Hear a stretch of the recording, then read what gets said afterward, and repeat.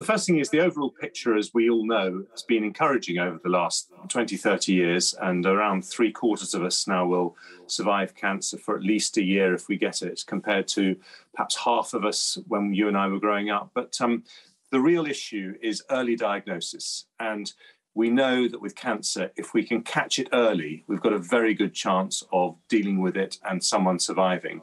Um, but what we found is that the NHS has this big ambition to diagnose three quarters of cancers at stage one or two by 2028. It's in their long term plan. And our report found they were not on track to deliver that.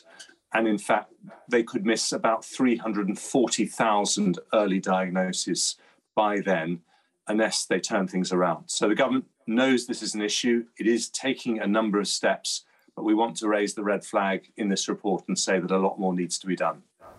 How much is it down to the fact that people were hesitant to come forward during the pandemic as opposed to not being called forward?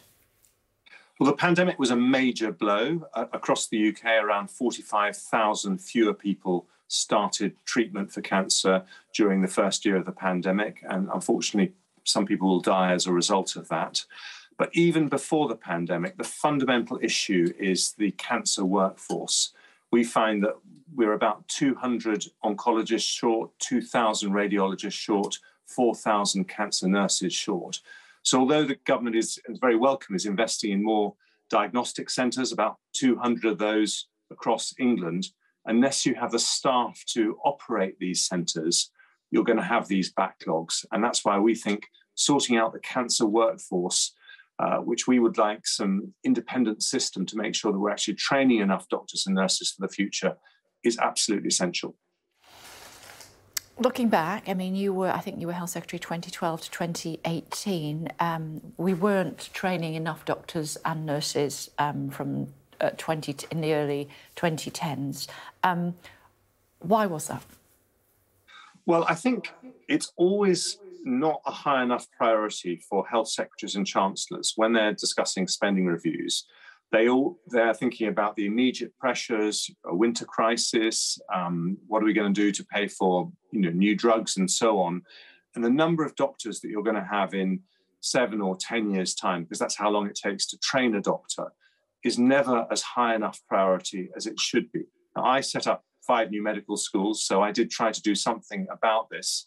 But I think we need to have a system that doesn't depend on whether an individual health secretary is interested in the issue, but permanently deals with the issue to make sure that whoever is in power, whichever party, whichever health secretary, we're always training enough doctors and nurses for the future.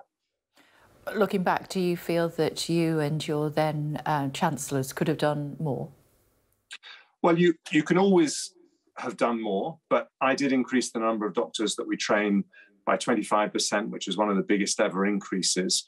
Um, but because it takes seven years, not, not a single additional doctor has yet reached the NHS workforce because of those decisions. So I think that's why we need a structural change that makes sure that year in, year out, we are always training enough doctors and nurses for the future. Because, you know, I think doctors and nurses on the front line understand that there isn't an overnight solution to these issues. It does take time to train up people in the clinical workforce, but they do want to know that there is at least a long term solution in place. And that's why it's very disappointing this week.